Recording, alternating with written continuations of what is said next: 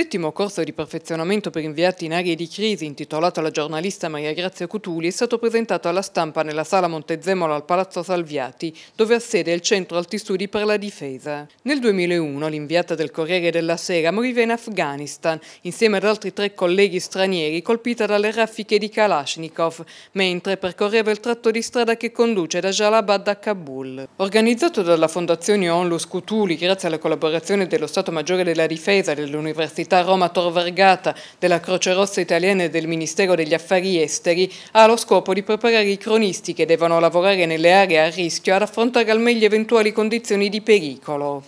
L'ammiraglio di squadra Donato Marzano, capo ufficio generale del Capo di Stato Maggiore della Difesa, nel suo intervento ha tracciato un quadro dei contesti internazionali che ha abbracciato intere regioni del Medio Oriente, dell'Africa, per arrivare alla Russia e all'Ucraina, zone in cui si trovano ad operare giornalisti e militari e le varie organizzazioni governative e non, in situazioni numerose e complesse, ad alta conflittualità, che mettono in crisi equilibri consolidati. Miraglio Marzano, in una situazione di crisi come quella che viviamo in questo momento, un'escalation inaudita di violenza, quanto è importante la formazione non solo dei militari ma anche dei giornalisti che fanno gli inviati di guerra nelle aree di crisi? Insomma l'esperienza che ci viene da sette anni di corsi, ormai questa è la settima edizione che è partita, ci dice che di fatto è importante che il personale che si muove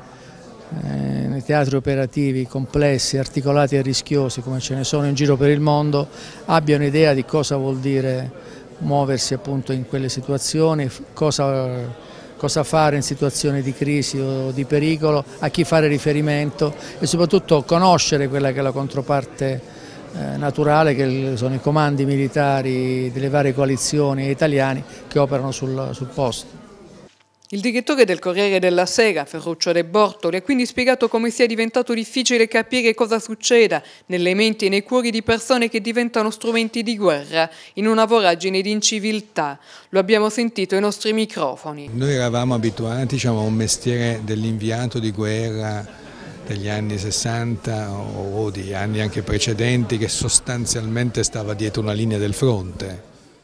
un paese ha bisogno di giornalisti liberi che siano anche in grado di segnalare in un'opera di trasparenza,